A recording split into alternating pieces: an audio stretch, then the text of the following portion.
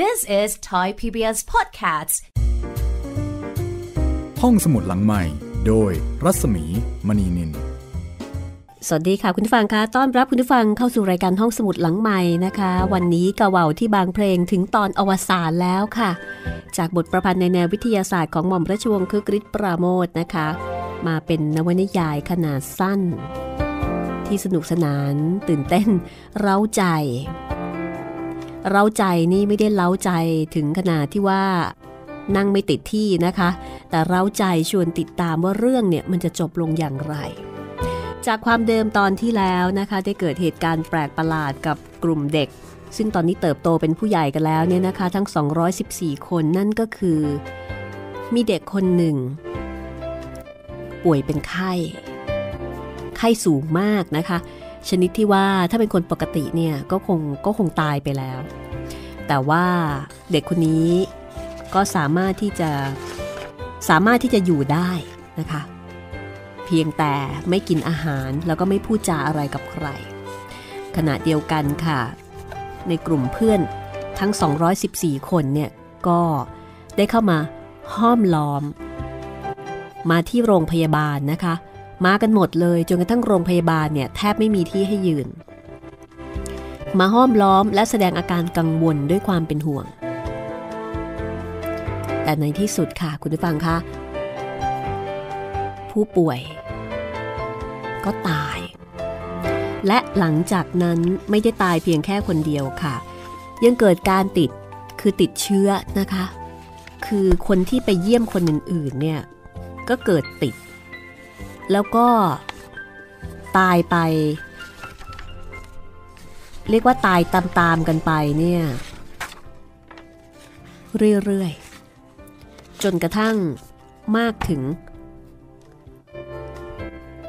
63 คน อาการที่เด็กเหล่านี้เป็นก็คือ ไข้ปอดบวมนะคะ เป็นไข้แล้วก็ติดเชื้อ เป็นอาการปอดบวม เรื่องนี้เป็นข่าวใหญ่ในบางเพลงทีเดียวนะคะ แล้วก็ทำให้หลายคนเนี่ยคลางแคลงใจว่าเอ๊ะ คนกลุ่มนี้เนี่ยเคยเป็นคนที่มีอิทธิฤทธิ์มีอำนาจ สามารถทำอะไรได้ทั้งนั้น แต่ทำไมกับอีกแค่อาการเจ็บไข้ของเพื่อน กลับไม่สามารถที่จะช่วยอิคือกลับไม่สามารถที่จะใช้อิทธิฤทธิ์ที่มีเนี่ยช่วยชีวิตเพื่อนไว้ได้ ไม่สามารถค่ะ นี่เป็นวิกฤตของกลุ่มคนทั้ง 214 ที่พวกเขาไม่สามารถจะจัดการปัญหาได้นะคะ วันนี้เป็นตอนอวสานค่ะ ถ้าอยากรู้ว่ากระเว่าที่บางเพลงจะอวสานจะจบลงอย่างไร ก็ต้องติดตามละค่ะ กับวันนี้ตอนอวสานนะคะ ฟังผ่าน www.thaipbsonline.net และแอปพลิเคชัน Thai PBS บนสมาร์ทโฟนของคุณค่ะ เอาละถ้าพร้อมแล้ว เราไปฟังกันต่อเลยนะคะ กับตอนที่ 15 ตอนอวสานกาเหว่าที่บางเพลงค่ะ ในที่สุด ก็เป็นที่รู้กันทั้งบางเพลง ว่าในจำนวนคนที่เกิดพร้อมกันที่บางเพลง 214 คนนั้น ป่วยเป็นไข้ปอดบวมตายไปทั้งสิ้น 63 คน ตายที่โรงพยาบาล 10 กว่าคน นอกนั้นไปตายที่บ้านทำให้จำนวนคนพวกนั้นลดลงจาก 214 เหลือเพียง 151 คนเท่านั้น และที่เหลือ ก็เปลี่ยนกิริยาท่าทีไปจากเดิม จากที่เคยเป็นคนองอาจกล้าหาญทำอะไรกระฉับกระเฉงมีเรี่ยวแรงมาก ก็เปลี่ยนกลายเป็นคนเสื่องซึม เชื่องช้า และที่สำคัญที่สุดนั้น ก็มีอาการเหมือนกับหวาดกลัวอะไรบางอย่าง เหมือนกับที่คนบางเพลงได้เคยหวาดกลัวมาแล้วครั้งหนึ่ง คนพวกนี้เคยทำให้ชาวบ้านบางเพลงต้องหวาดกลัวอย่างไร ดูจากอาการกิริยาเดี๋ยวนี้ คนพวกนี้ก็เกิดความหวาดกลัวเช่นเดียวกัน และเป็นความหวาดกลัวที่ดูเหมือนจะมากกว่าที่คนบางเพลงเคยมีมาซะอีก เพราะสิ่งที่คนเหล่านี้กลัวได้แก่ความเจ็บและความตาย ซึ่งเขาไม่เคยรับรู้จากปัญญาที่โลกเดิม ซึ่งให้ความรู้แก่เขานับตั้งแต่เขาเกิดมา เมื่อมาพบกับของจริง คือความเจ็บและความตาย ต่างคนต่างก็กลัวว่าจะเกิดขึ้นแก่ตนเอง แล้วก็หวาดหวั่นไปหมด เนื่องจากไม่รู้ว่าความเจ็บและความตายจะมาถึงตัวเมื่อไหร่ ในที่สุดจะพูดจะจาอะไรกัน หรือว่าพูดกับใคร ก็ต้องเหลียวหลังดูซะก่อนว่า อะไรมาข้างหลังหรือไม่ อย่างที่คนบางเพลงเคยทำมาไม่มีผิด กลายเป็นว่าเดี๋ยวนี้ ฝ่ายที่หวาดวันหวาดกลัว หวาดระแวง อยู่ไม่เป็นสุขก็คือกลุ่มคนพวกนี้ แต่ถึงกระนั้นนะคะ สิ่งที่บ้านคนบ้านบางเพลงเคยเรียกว่าอภินิหาร ก็ยังคงอยู่ ยังคงอยู่แล้วก็เป็นสิ่งที่ทำให้คนบางเพลงเนี่ยยังคงขนหัวลุกเมื่อได้เห็น นั่นก็คือ วิธีการจัดการกับศพของพวกเขาที่ตายไปแล้ว วิธีการที่พวกเขาใช้นั้น เมื่อคนบางเพลงได้เห็นก็พากันสยดสยองไปทั่ว เรื่องของเรื่องก็คือ คนพวกนี้เก็บศพพวกเดียวกันที่ตายทั้งหมดเอามาเรียงกันไว้ที่ลานวัดบางเพลง เป็นรูปสี่เหลี่ยมจัตุรัส กว้างยาวสามช่วงคน แล้วก็เอาศพเนี่ยมาเรียงซ้อนขึ้นไปเป็นรูปปีระมิดศพเหล่านั้นมิได้ใช้โลงหรือว่าผ้าห่อแต่อย่างใดทั้งสิ้น คงเป็นศพที่นอนเฉย ตายอย่างไรก็หามเอามาอย่างนั้น และเมื่อกองไว้ที่ลานวัดบางเพลงในรูปปีระมิดแล้ว คนพวกนั้นก็เข้ามาล้อมรอบ ยืนห่างจากศพประมาณ 5 เมตร หันหน้าเข้าหาศพ แล้วก็พากันใช้สายตาจ้องไปที่ศพ โดยไม่กระพริบตา และไม่กระดิกร่างกายส่วนใด ประมาณ 3 นาทีนะคะศพที่กองอยู่นั้นก็ลุกเป็นไฟ แล้วก็ลุกโชนมอดไหม้ไปจนหมดสิ้น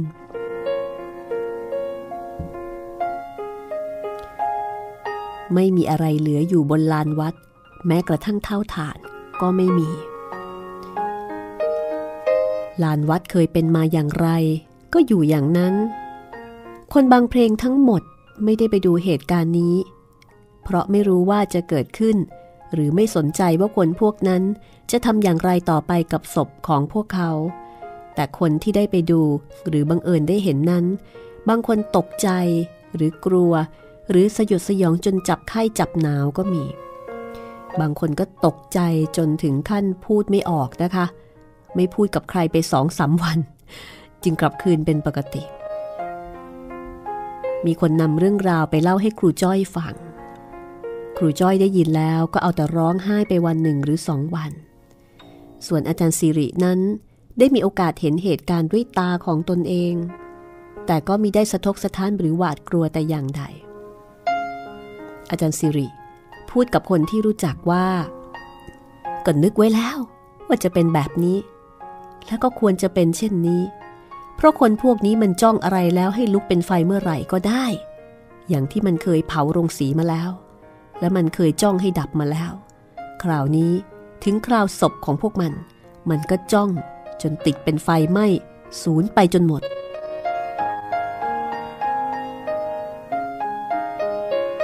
ตั้งแต่นั้นเป็นต้นมา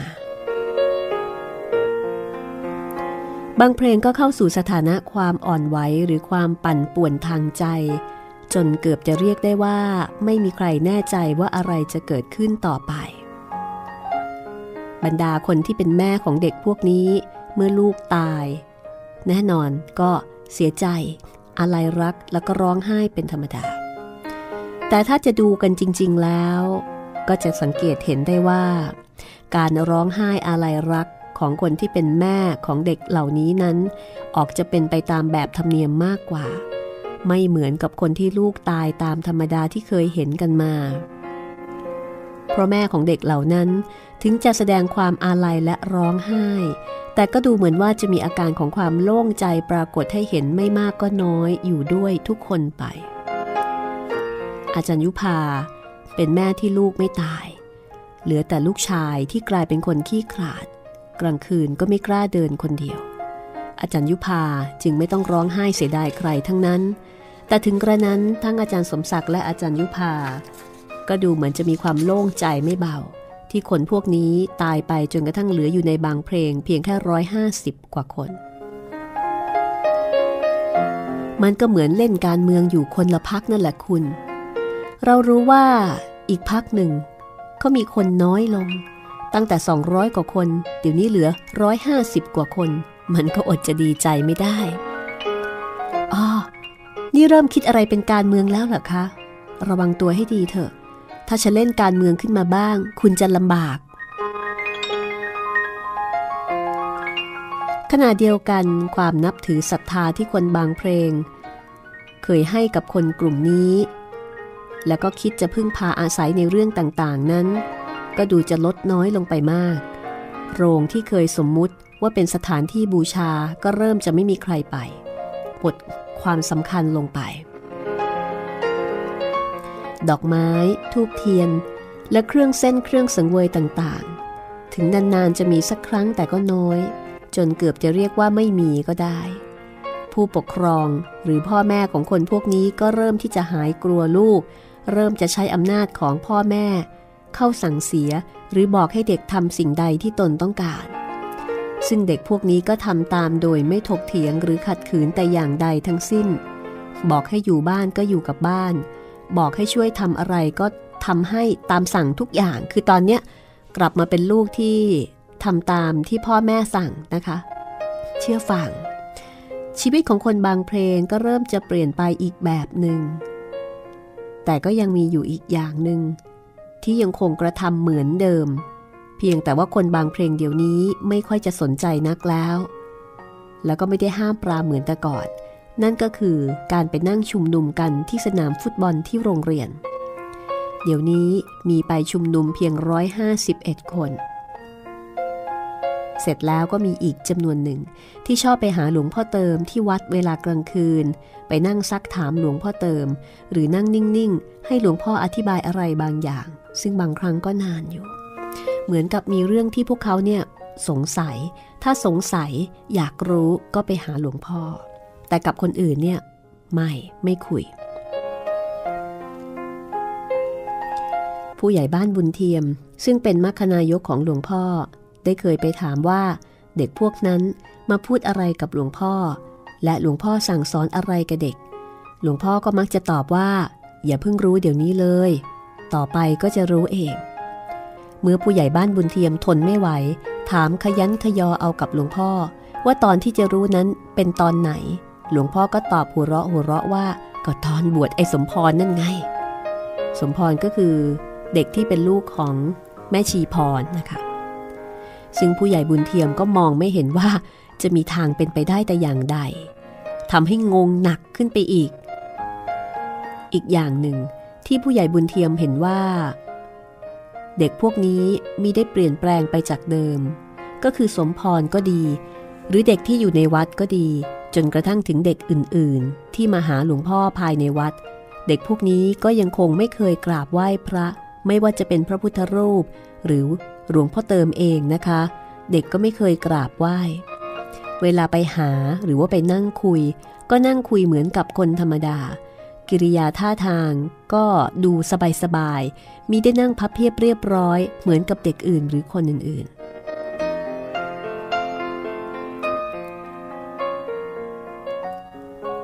เช้าวันหนึ่ง ที่ตลาดสดบางเพลง ยายเชื้อและยายแม้นยังนั่งขายของแผงติดกันอย่างที่เคยเป็นมาหลายสิบปี แต่วันนี้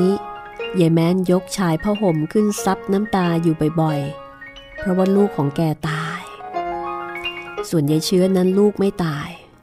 ก็ไม่มีอาการเสียอกเสียใจแต่อย่างใดทำใจให้ดีๆ เถอะโว้ยแม่น เสียลูกไปคนเดียว มันไม่ถึงกับล้มตายหรอกวะ มีคนหนึ่งได้มันก็มีอีกคนหนึ่งได้อย่าเชื้อพูดแล้วก็หยุดชะงัก นึกอะไรออกขึ้นมาเอง แล้วก็กล่าวต่อไปว่า เออ กูลืมไป มีคนเดียวนี้ แล้วมันก็คงมีไม่ได้อีกต่อไปหรอกข้าก็เหมือนกันนั่นแหละ เพราะทั้งสองคนนี้ก็แก่แล้วนะคะยายแม้นมองดูยายเชื้ออย่างสนใจแล้วก็บอกว่า ลูกใครตายมันก็ร้องไห้เสียใจทุกคนนั่นแหละเชื้อเอ้ย ทั้งที่ไอ้ลูกคนนี้ของเรา มันก็ไม่ได้รักใครอะไรเรานักหรอก แถมยังไม่ค่อยเชื่อฟัง จะว่าอะไรมันก็ทำตามใจมัน มีแม่ก็เหมือนกับไม่มี ข้าเองมีลูกก็เหมือนกับว่าไม่มีลูก แต่มีอะไรมาอยู่ที่บ้านเพิ่มขึ้นอีกคนนึง จะว่าเหมือนอะไรข้าก็นึกไม่ออกเหมือนกัน นี่คือสภาพของบรรดาแม่ๆในบางเพลงนะคะ มีก็เหมือนไม่มี ไม่มีก็เหมือนกับมียายเชื้อก็บอกว่าข้ารู้ดีว่ามันเหมือนอะไร เพราะข้าเองก็เหมือนกัน มันเหมือนเสี้ยนที่มาตำอยู่ในเนื้อ แล้วบ่งเอาออกไม่ได้จริงไหมเล่า สาธุแม่ควรช่างเปรียบช่างเปรย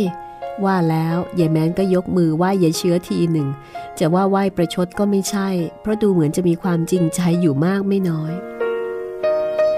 เมื่อตอนที่มันยังเป็นๆอยู่ข้าก็นึกอย่างนั้นไม่ผิด มันเหมือนกับว่ามีเสี้ยนอะไรมาตำอยู่ ถอนก็ไม่ออก มันมีแต่ความข้องใจสงสัยอยู่ตลอดมาก บางทีก็กลับกลัวมันซะอีก แต่พอมันตายเข้าจริง ก็อดสงสารแล้วก็อดอาลัยมันไม่ได้ ถึงได้มานั่งร้องไห้กระซิกกระซีอยู่อย่างนี้แหละ แต่ในความจริงใจของข้าแล้ว ก็อย่างที่เชื้อพูดไม่มีผิด ถอนเสี้ยนออกนี่มันเจ็บหน่อยนะเชื้อนะ แต่มันก็โล่งใจพี่ลึก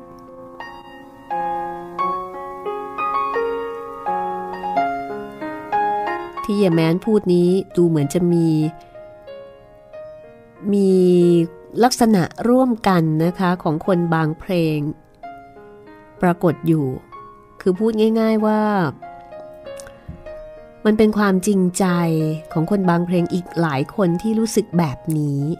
คือที่ออกลูกมาพร้อมกับลูกของยายแมน แล้วก็มาตายลงในคราวนี้ คือเสียใจ แต่ขณะเดียวกันก็โล่งใจ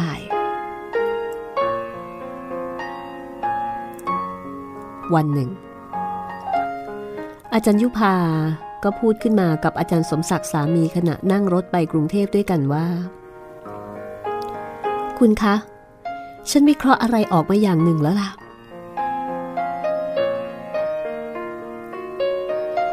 ถึงอย่างนั้นทีเดียวหรือครับอาจารย์ อาจารย์สมศักดิ์ก็พูดแบบล้อๆเมียตัวเอง แล้วอาจารย์วิเคราะห์อะไรออกมาได้ ผมว่าคงจะเป็นประโยชน์แก่มนุษยชาติอย่างมากมายในคราวนี้ พูดดีนัก เดี๋ยวไม่บอกซะเลย จะเรียกว่าวิเคราะห์ก็ได้ หรือใช้ความสังเกตเฉยๆก็ได้ แต่ฉันเข้าใจว่า แม่ของเด็กพวกนี้ที่ลูกตายนั้น ถึงจะเสียใจ ก็รู้สึกโล่งใจไปตามๆกัน ที่ลูกพวกนี้มันตายเสียได้ หมดภาระไปสำหรับตัวฉันเองนั้น ลูกฉันก็ยังไม่ตาย เพราะฉะนั้นฉันจึงยังวิเคราะห์ไม่ออกว่า ฉันจะโล่งใจแบบคนอื่นเข้าหรือไม่ ตกบ่ายในวันเดียวกันกับที่อาจารย์ยุพาคุยกับอาจารย์สมศักดิ์ในรถ หลวงพ่อเติมก็รู้สึกแปลกใจ ที่ได้เห็นสมพร แล้วก็เด็กที่มาอยู่วัดอีกสามคน ขึ้นมาคุกเข่า พนมมืออยู่บนกุฏิคือตกใจเพราะว่าเด็กพวกนี้เนี่ยไม่เคยพนมมือไหว้หลวงพ่อเลยนะคะ ไม่เคยทำเลย ไม่เคยแสดงความเคารพในฐานที่หลวงพ่อเป็นสมณะ จะพูดจะจาหรือทำอะไร ก็ทำเหมือนกับที่ทำกับคนธรรมดา แต่หลวงพ่อเติมก็ไม่เคยถือสา คิดไปซะว่า พวกชีที่เป็นแม่ของเด็กอาจจะขาดความรู้ทางโลก เลยอบรมลูกไม่เป็นอะไรทำนองนั้นคือเมตตามากไม่ถือสาหาความ แต่คราวนี้ หลวงพ่อเติม เกือบจะต้องขยี้ตาตัวเอง เมื่อเห็นเด็กสี่คนมานั่งคุกเข่าพนมมือเรียงแถว พอหลวงพ่อเดินออกมาจากในกุฏิแลเห็นเด็ก เด็กก็ก้มลงกราบสามหนอย่างกับกราบพระ แล้วก็นั่งพับเพียบพนมมือ หลวงพ่อเติมประหลาดใจในมารยาทของเด็กจนพูดไม่ออก เมื่อหลวงพ่อ ลงนั่งกับพื้นกุฏิสมพร ก็เป็นคนกล่าวขึ้นก่อนว่า หลวงพ่อครับ วันนี้พวกผมทั้งหมด จะมาขอลาหลวงพ่อกลับไปที่เดิมของพวกผม อ้าว หลวงพ่อเติมยังตะกุกตะกักตั้งประโยคไม่ถูก พวกเองจะไปไหนกันล่ะ เด็กๆก็จะกลับไปไหนนะคะ ก็คงจะต้องฟังช่วงหน้าละค่ะ This is Thai PBS Podcasts. ห้องสมุดหลังใหม่ โดยรัศมีมณีนิน มาฟังกันต่อนะคะในช่วงที่ 2 ค่ะ ห้องสมุดหลังใหม่กับเรื่องกระว่าที่บางเพลง บทประพันธ์ของหม่อมราชวงศ์คือกริชปราโมทตอนจบนะคะ กับตอนที่ 15 ก็เป็นนวนิยายขนาดสั้นในแนววิทยาศาสตร์ ถึงแม้ว่าเขาโครงเรื่องเนี่ยจะว่ากันว่ารับมาจากฝรั่ง แต่เมื่อดัดแปลงแล้วก็เติมเติมอัธรสนะคะ เป็นแบบไทยๆ ดิฉันว่าบางทีอาจจะสนุกกว่าต้นฉบับเดิมก็ได้ ด้วยฝีมือของหม่อมราชวงศ์คึกฤทธิ์ปราโมทนะคะ ทุกเรื่องสนุกแล้วก็ได้สาระด้วย เป็นนักเขียนคนโปรดในดวงใจทีเดียวละค่ะ เอาละค่ะ มาถึงตอนจบแล้วคุณผู้ฟังที่ ไม่เคยอ่านแล้วก็ไม่เคยชม หมายถึงไม่เคยชมภาพยนตร์ไม่เคยดูละครเนี่ยนะคะ แล้วก็ไม่ทราบว่าตอนจบเป็นอย่างไร หรือว่าอาจจะเคยชมแต่จำไม่ได้แล้วเพราะมันนานมาแล้วเนี่ยก็คงมีลุ้นละอยากรู้ใช่ไหมว่าเอ๊ะตกลงเนี่ย พวกเขาจะไปไหนกันนะเออ จะไปกันหมดเลยหรออะลองมาฟังกันเลยก็แล้วกันนะคะ ว่าสมพรซึ่งเป็นหนึ่งในสี่ของเด็กที่อาศัยอยู่กับหลวงพ่อเติมเนี่ย เขาจะบอกอะไรกับหลวงพ่อเติมบ้าง และอะไรที่ทำให้พวกเขาพนมมือไหว้หลวงพ่อ ทั้งๆทที่แต่ก่อนเนี่ยไม่เคยทำเลยนะคะ ติดตามได้เลยค่ะกาเบาที่บางเพลงตอนที่ 15 ตอนอวสานช่วงที่สองค่ะ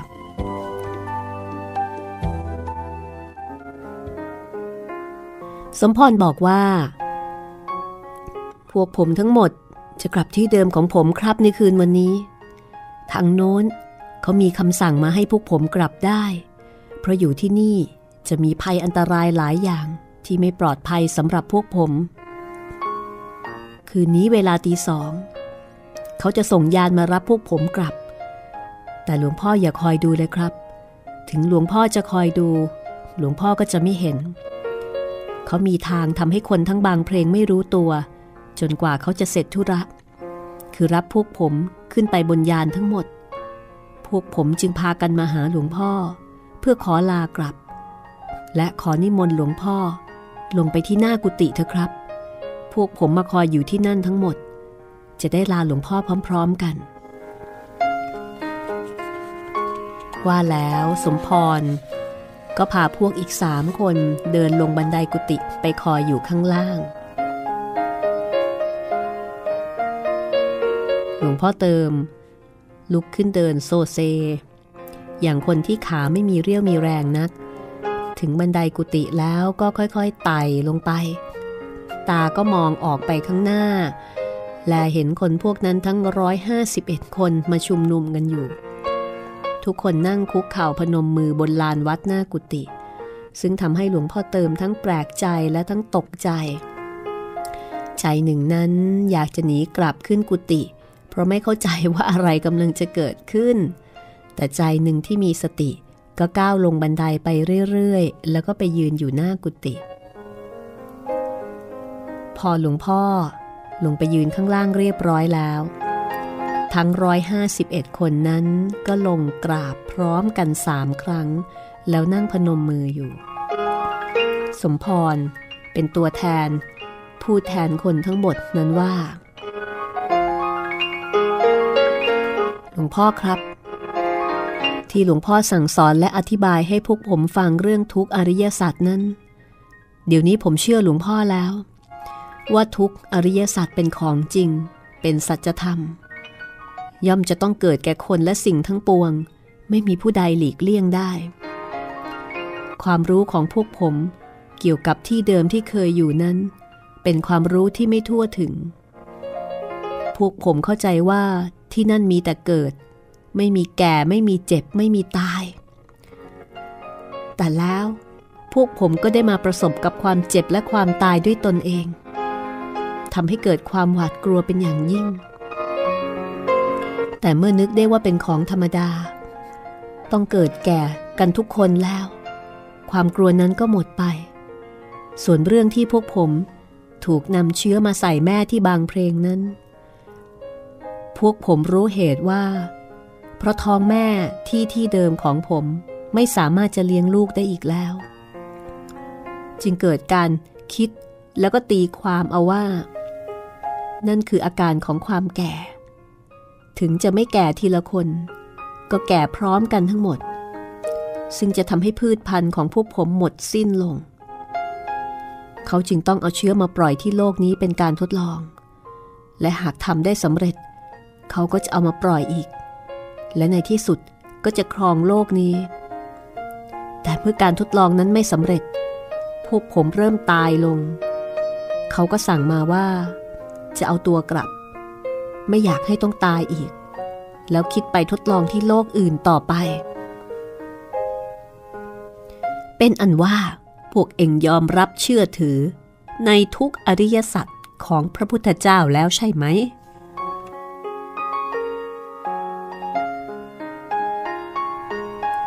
ช่ครับ พวกผม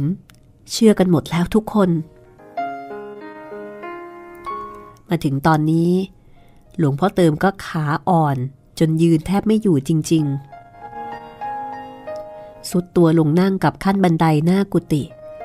หยุดหายใจแรงๆ อยู่ครู่หนึ่ง ก่อนจะบอกว่า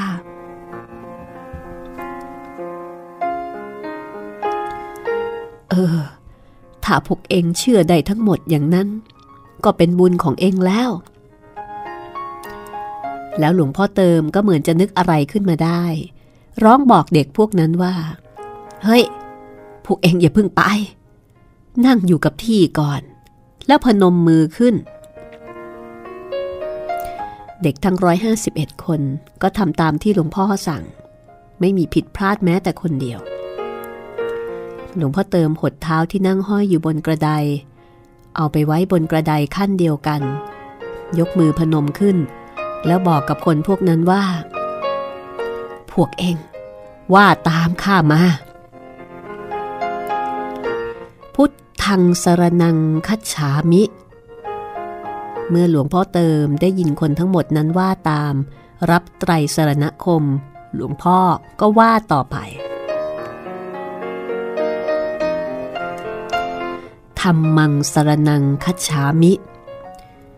สังฆังสรนังคัจฉามิ หลวงพ่อเติมให้ไตรสรณคม ครบสามครั้ง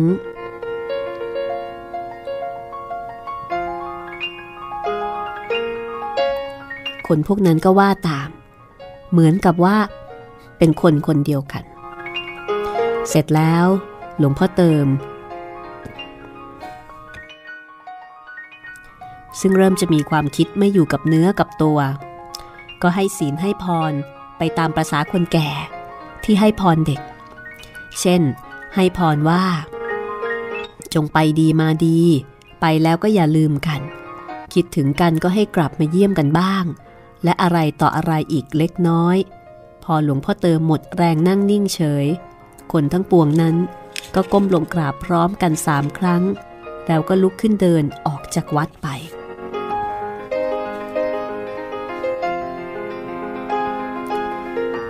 หลวงพ่อเติมก้าวขึ้นบันไดอย่างช้าๆ ไปบนกุฏิ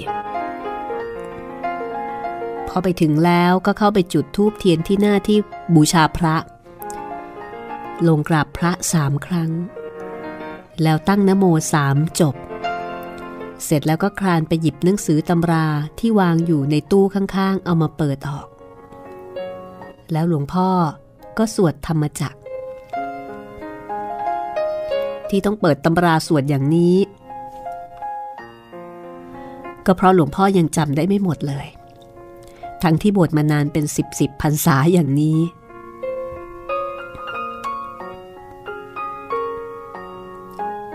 แต่บทสวดธรรมจักรกับปวัตนสูตรนี่ยาวมากเลยค่ะถ้าคุณผู้ฟังเคยฟังจะพบว่ายาวจริง ๆ และในคืนวันนั้น เวลาตีหนึ่งสิบห้านาที เวลาที่บางเพลงก็สะดุดหยุดลงไปเป็นเวลา 8 นาที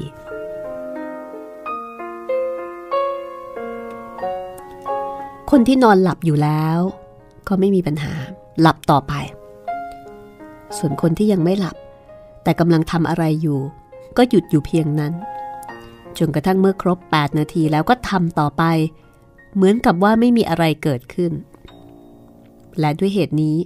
จึงไม่มีใครในบางเพลงได้เห็นว่า มียานอวกาศลำหนึ่งเป็นดวงสีแดงจัด ล้อมรอบด้วยหมอก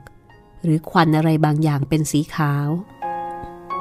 มาลอยอยู่เหนือแม่น้ำตรงที่เคยลงมาครั้งหนึ่ง ลานนั้นจอดนิ่ง แล้วเปิดใต้ท้องเป็นช่อง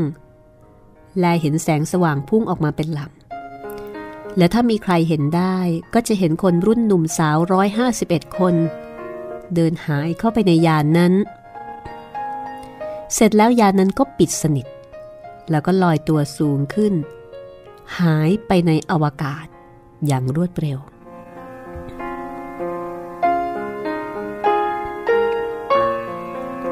เช้าขึ้นมา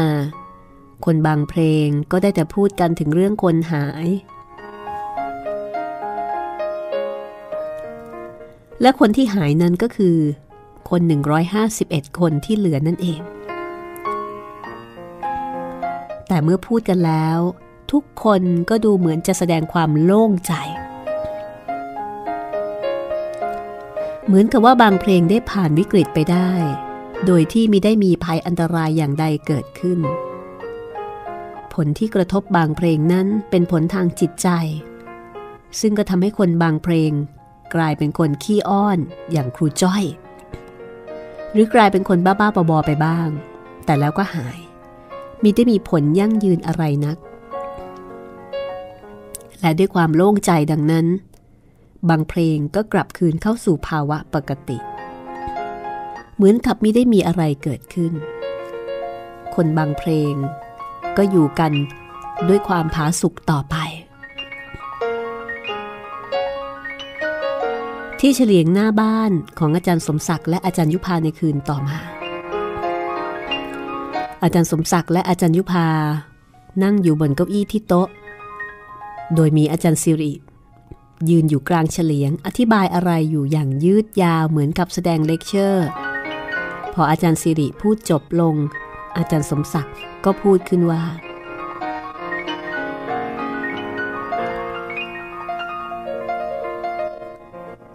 สิ่งที่อาจารย์สิริอธิบายนั้น ก็คือเรื่องโลกอื่นๆ ที่มีสิ่งมีชีวิตและมีปัญญา อาศัยอยู่เหมือนกับโลกมนุษย์ของเรา ความพยายามของโลกโลกหนึ่ง ที่จะต่อชีวิตของตนเอง ด้วยการเอาเชื้อมาปล่อยที่บางเพลง หรือที่โลกของเรานี้ และถ้าหากทำได้สำเร็จ ก็คิดจะครองโลกนี้ต่อไป เพราะว่า โลกที่ตนอยู่มานั้น แก่จนใช้ไม่ได้อีกต่อไปแล้วอันดันสิริยังได้พูดนอกเรื่องนอกราวไม่เข้าประเด็นไปอีกมาก ตามภาษาของนักวิชาการ ซึ่งเมื่อออกเดินแล้วก็หยุดไม่ได้ จนในที่สุดก็จบลงเพราะเหนื่อย แล้วก็ขอตัวว่าจะไปเก็บของ ของอะไรกันคะอาจารย์ ฉันไม่เห็นอาจารย์มีของอะไรติดตัวมาสักนิด อาจารย์ยุพาเป็นคนที่ไม่ช่างสังเกตอะไรเลย เมื่อผมมาอยู่กับอาจารย์ที่นี่ ผมเอาของติดตัวมาตั้งห่อ อะไร ห่อเท่ากำปั้นนั่นหรือคะ ก็อาจารย์จะเอาห่อแค่ไหนล่ะครับ ผมไม่ได้คิดว่าจะไปนอกโลกนี่ เดี๋ยวครับอาจารย์ อาจารย์สมศักดิ์ เรียกร้องให้อาจารย์สิริหยุดก่อน เหตุผลต่างๆ ที่อาจารย์อธิบายมาเกี่ยวกับโลกอื่นก็ดี เกี่ยวกับยานอวกาศ และเกี่ยวกับเด็กที่มาเกิดที่บางเพลงนี่ ผมฟังจนเพลิน แล้วก็เชื่อถืออาจารย์ทุกอย่าง ไม่มีข้อสงสัย แต่ผมสังเกตดูรู้สึกว่า วิทยานิพนธ์ของอาจารย์นั้น มันมีเหตุบังเอิญสลับซับซ้อนมากเหลือเกิน อาจารย์สิริยกนิ้วชูขึ้นแล้วก็บอกว่า อาจารย์สมศักดิ์ก็ทำโง่ไปได้นวนิยายวิทยาศาสตร์นั้นทำไมอาศัยเหตุบังเอิญบ่อยๆ แล้ว ก็เขียนไม่มีวันจบหรอกครับ เพราะมันจะลงไม่ได้ แล้วอาจารย์สิริ ก็เดินหายเข้าห้องไป ส่วนอาจารย์สมศักดิ์ก็เดินมาที่ที่ตัวของอาจารย์ยุพาค่อยๆ จับข้อมือ แล้วจูงไปยืนกันสองคนที่ริมเฉลียง มือทั้งสองคนเกาะลูกกรงไว้ แล้วแงนหน้าขึ้นไปดูบนฟ้า คุณคะ คุณลองมองขึ้นไปบนฟ้านั่นสิคะ มีดวงดาวอยู่เป็นอสงไขยนับไม่ถ้วน แต่คุณนึกบ้างหรือเปล่าว่า ในดาวดวงใดดวงหนึ่งนั้น มีลูกของเราคนหนึ่ง อาศัยอยู่ในขณะนี้แม่ คืนนี้ เมียผมโรแมนติกเหลือเกิน แล้วอาจารย์สมศักดิ์ก็ดึงตัวอาจารย์ยุพา เข้ามากอดไว้แนบอก แล้วก้มหน้าลงจูบอาจารย์ยุพาทีหนึ่งอย่างแสนที่จะดูดดื่มและทนุถนอมอุ้ยทำอะไรก็ไม่รู้ เดี๋ยวคนเขาก็เห็นหรอก อาจารย์ยุพาหลบ เอาหน้าซุกที่ซอกคออาจารย์สมศักดิ์ ใครเขาจะเห็นก็ช่างเขาปะไร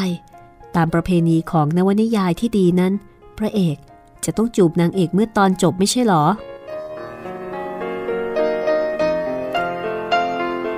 เป็นอันว่า จบเรื่องกระเว่าที่บางเพลงอยางสมบูรณ์นะคะ และนี่ก็คือกระเว่าที่บางเพลง บทประพันธ์ของหม่อมราชวงศ์คือกริชปราโมท ก็กลายเป็นนวนิยายที่อ่านสนุก น่าติดตาม ขณะเดียวกัน ก็น่าคิดนะคะ ว่าเหตุการณ์เช่นนี้ จะเคยเกิดขึ้นหรือเปล่าในโลกของเรา หรือไม่แน่ ว่าอาจจะมีโอกาสเกิดขึ้นในอนาคตก็ได้ คือนอกจากสนุกแล้วก็อดคิดไม่ได้ว่ามันมีโอกาสที่จะเป็นความจริงได้บ้างหรือไม่ หรืออาจจะเป็นอยู่ก็ได้นะ มีคนที่ไม่ได้เป็นคนของโลกเราเนี่ยมาอยู่ปนกับเรา โดยที่เราไม่รู้ และนี่ก็คือรายการห้องสมุดหลังใหม่ แต่วันนี้ต้องลาคุณผู้ฟังไปก่อนนะคะ สวัสดีค่ะ This is Thai PBS Podcasts. ห้องสมุดหลังใหม่ โดยรัศมีมณีนิน ถ้าฟังห้องสมุดหลังใหม่แล้วชอบ อย่าลืมกดแชร์ อย่าลืมบอกต่อ แล้วก็อย่าลืมกด subscribe ด้วยนะคะ ขอบคุณค่ะ